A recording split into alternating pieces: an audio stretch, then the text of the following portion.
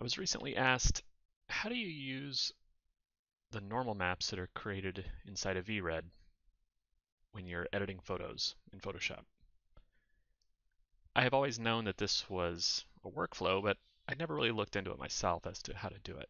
So the first thing I did is a little bit of research and I found this great quick 60 second tutorial on how to use normal passes inside of Photoshop. I'll put the link below, but I've taken this knowledge and I've applied it to VRED, and I'm going to show you how to do it yourself. So now we're inside of VRED. What I have is a complete exterior and interior. I'm going to go in here and sort of pick my interior camera angle. Something like this. The goal is to show most of the IP, the driver's side door, and the top of the seats, and a little bit of the exterior. Try to pick a height that's about the passenger's eye point. So now I'm going to enable GPU ray tracing. Once the ray tracing is enabled, and now that we're accurately calculating the lighting in the scene, you'll realize that this black materials in the footwell of this vehicle is turning very, very dark, and I'm not able to see any of the shape and form. I could increase the exposure of the HDR to add more light into the scene, but that would have a negative effect of making my background very bright and all the surfaces that actually look good in my scene would also become brighter. I could add in spotlights or any other type of light into the scene to try to shine light down into these areas. But that requires a little bit of experience and I could end up spending a lot of time doing something that doesn't look that good. And I really want to uh, get this rendering done as quick as possible. So I think this is the perfect opportunity to use the normal map to enhance these dark areas. They're not the focus of my rendering, but it definitely is really noticeable how black these areas are. So the normal map, the normal pass can be found under Render Pass Rendering, Auxiliary Channels, Normal. And what a normal pass is, has nothing to do with lighting. What it's doing is adding color to all the geometry based on the direction of the surface or the normal of the surface. So everything that's facing this way is pink, everything facing down is orange, everything facing the opposite direction is green, and everything facing up is blue. So this is all the directional information of the geometry in the scene. And this is what we're going to use inside of Photoshop to add in some lighting. So let's switch back to realistic rendering. And now I'm going to go to my render settings. I am going to render with the denoiser on. I'm going to do a thousand samples, high quality for adaptive sampling. Under file output, I'm just going to render this at 1920 by 1080. I go down to render passes, and when I enable export render passes, the default is set to beauty. Beauty is on. Beauty is the your beauty rendering. I want to add on the normal channel. So when I enable normal, if I go to render, you'll now see there are two files that are going to be exported. I can save a step in Photoshop by turning this checkbox on. Enable multi-layer PSD for render passes. By turning that on, you'll see that my total number of files drops to one. So this will create a single PSD file so that I don't have to open multiple files, combine them in Photoshop, just do it all at once. So when I hit render,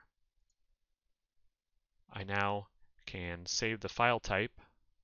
It was set to EXR because the last tutorial I did was using Cryptomatte using the EXR format. So now I need to switch it to PSD. And now it will render out a Photoshop file. So let's get ho, let's hit go. So let's hit go and wait for the rendering to complete and jump into Photoshop.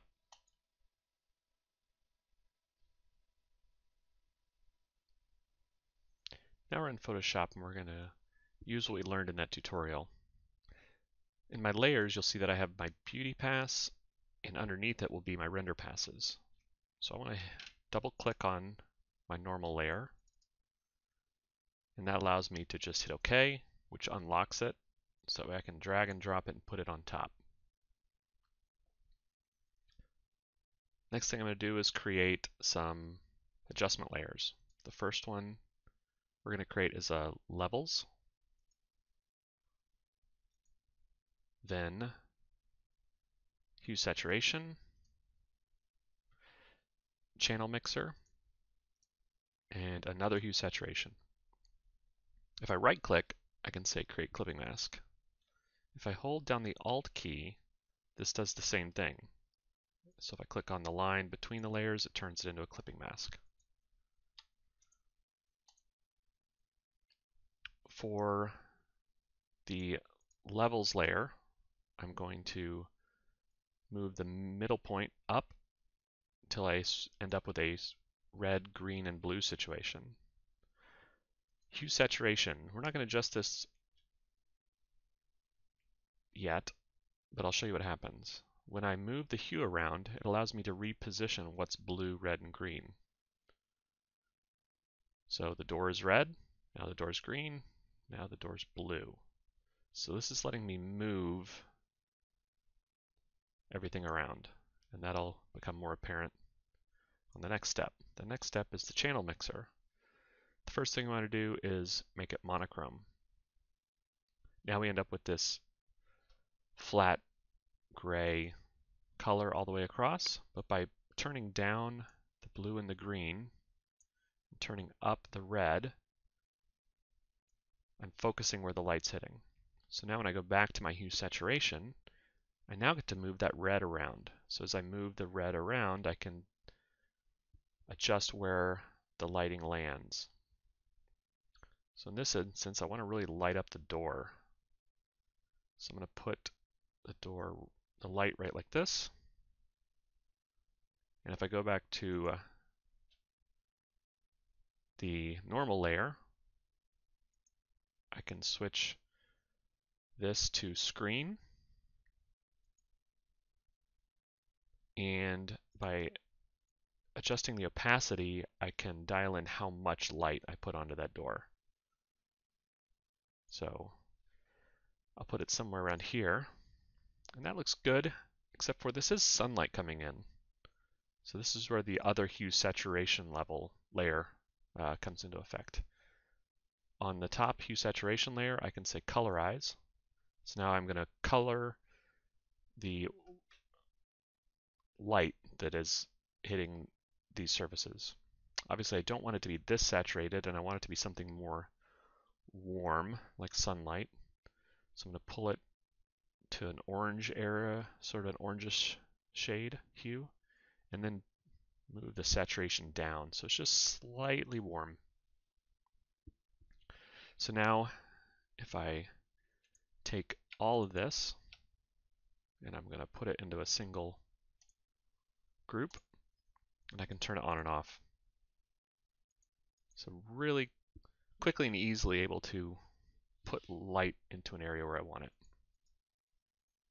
Now, if I, if I stand back and look at this image, I realize that the footwells are now the black hole of light, or lack of light, should I say. So I can take this whole group and duplicate the group.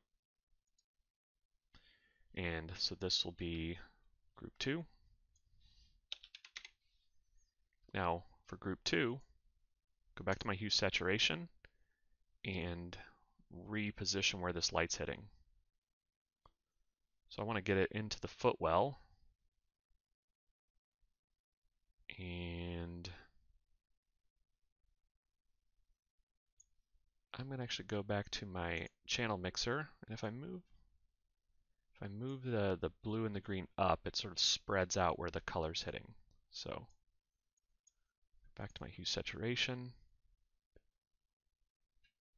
Uh, kind of somewhere, I really sort of want it right in between, right about there. And go to my hue saturation, the top level, and instead of being warm light, I'm going to switch to be cool light. So something bluish, kind of similar to what's going on with all the light that's hitting the top of the IP.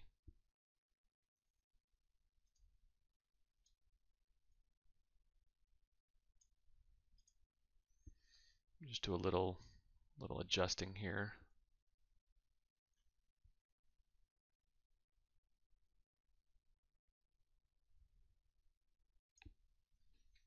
That looks good. Great, so really quick and easy way to allow an individual user to come in and, and, and adjust, add a little bit more definition in areas that were too dark, and be able to control them and dial them in as needed.